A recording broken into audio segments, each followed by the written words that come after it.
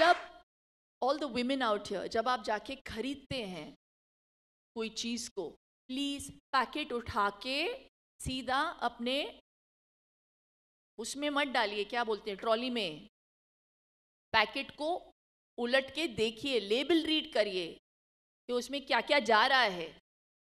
और जब आप ये करना शुरू करेंगे तो बहुत सारे पैकेट्स वापस चले जाएँगे शेल्फ पे घर पे नहीं। So I just feel that you have to live in awareness, guys. You need to start eating on time. Don't wait for a doctor's prescription to tell you that you need to make this lifestyle modification. Make it for yourself. Live in the present so that you can enjoy a better future.